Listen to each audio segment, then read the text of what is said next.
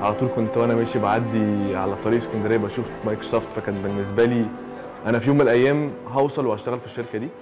آه، الجزء الثاني إن هي one of the biggest multinational companies في العالم. وال environment ال flexibility بتاعت الشغل وإن أنا من حقي أعمل اللي أنا عايزه في الوقت اللي أنا عايزه. أنت في الآخر بيقيسوك على ال targets بتاعتك مش على أنت جيت المكتب إمتى وعملت إيه يعني. مايكروسوفت مكان حلو إن أنت تبتدي فيه ال career بتاعك وبتاخد exposure كتير قوي.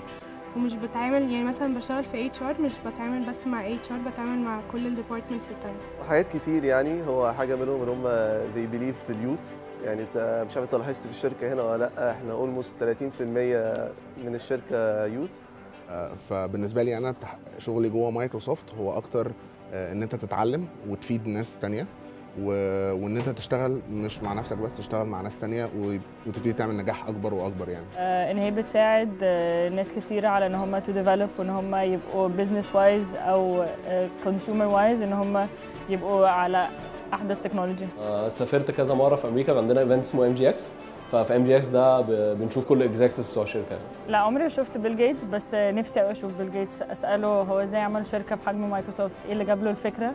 إن هي من فكرة صغيرة إن إحنا نعملها بالحجم ده. هبقى عايزة أعرف منه أكتر يعني هو يعني فكر في إن هو يبني مايكروسوفت إزاي وعمل الموضوع إزاي؟